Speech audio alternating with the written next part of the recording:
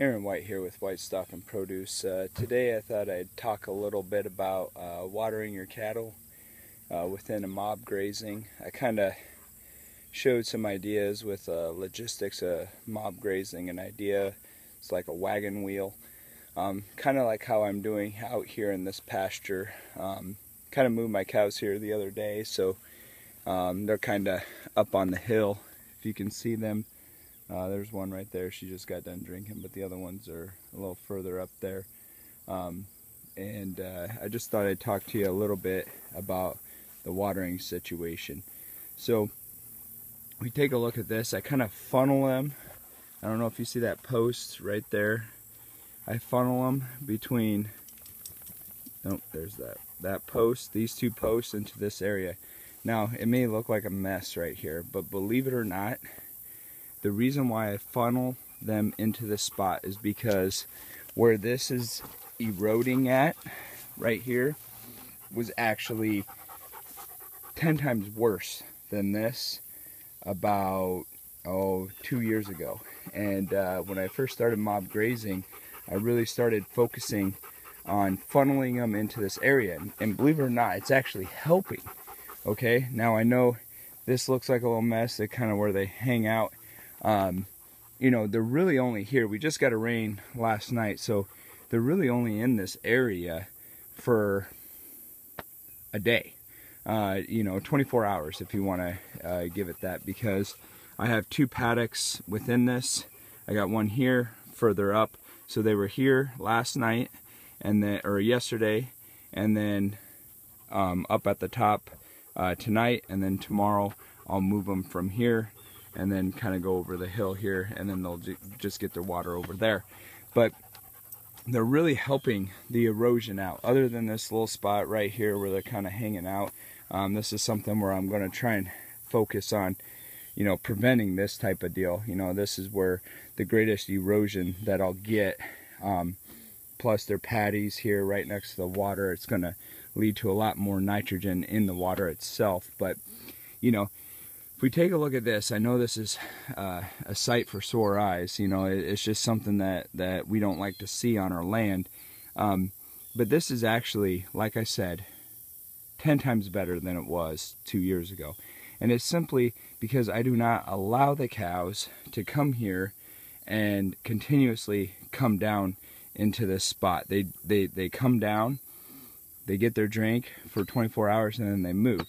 Now what you're seeing, especially right here, when it erodes, the clumps of grass fall down with it. Thus, the grass start to grow here. Now that will kind of taper off eventually as, as we keep going with this. They'll taper off and then the grass will kind of just even it out. So then it'll just be a steady decline down to the water. Okay, so this is actually a good thing. Um, I wish I would have, you know, started my photo uh, journal before I actually started doing this to kind of give you an idea of how to control certain areas like this, especially by your uh, by your water. Um, I see a lot of farmers. Um, they have their cows uh, continuously grazing, and so they're continuously have access to the pond. Um, something that I'm going to try to eliminate next year uh, is where this post is here. Okay, I'm actually going to shorten that down. I'm going to come in a little bit, a little bit more, and cut across so they can't really hang out in the water.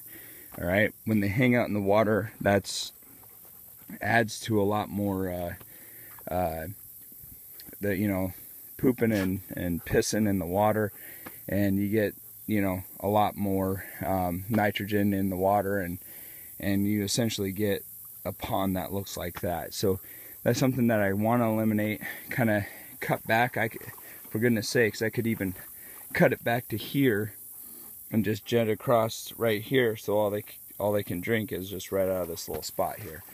So it's something that I'm thinking about trying next year, um, just to, you know, funnel them down this uh, terrain to kind of get them to push down the soil, okay, compact it. That's the idea is to compact it down and then go from there.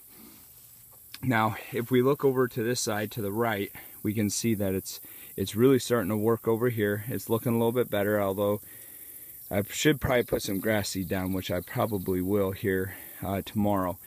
But put some grass seed down here, kind of uh, tamp it in. But it's working really well right here. This is where the worst spot was. Um, but now I'm starting to see when I funnel, funnel them into this area, they're continually going down this one spot, which is helping this. But the more steeper stuff, like in this area, they're not really climbing down and pushing that down. So um, erosion, this is the number one thing that, you know, I'd say farmers, you know, have to, you know, admit is a problem on their farm. And so this is something that I'm trying. I'm funneling the cattle straight down into this little area so that they have to walk through this and kind of trample it down. Now I might get a little creative and start funneling them into one area to really compact it down so that they're we're able to prevent this type of of uh, erosion that's going on on this farm. You know, and it doesn't help with uh, this this steep hill here because all that water runs right down that hill and then right on into the, the pond here. So, um, you know, you got to try and find a way to prevent that. And, and so this is what I'm trying to do. And, and if you could have saw this, like I said, about two years ago, three years ago when I started farming, it was just horrible. But you like to see this grass coming up right here, all right, all in this area. That That's what's going to try and help hold in that soil as we start to uh, kind of compact it down, trample it down. But anyway, just an idea on erosion control around ponds. Um, I've seen this this work in in some areas, um, so I'm giving it a go, and and so far it's looking a lot better. You know, right now, just giving an idea here. This is probably about a a foot from where the grass is up here to where it starts to slope down here. So it's like a uh, about a foot drop. You know, this was about three feet straight drop down. And, and in a matter of two years funneling them through this area, they've able to, you know, get it down to a foot along with the erosion, kind of pushing it. The grass comes down with it. We're starting to get some growth in here. That's what we want, all right? This growth will, will kind of help out with holding the soil in.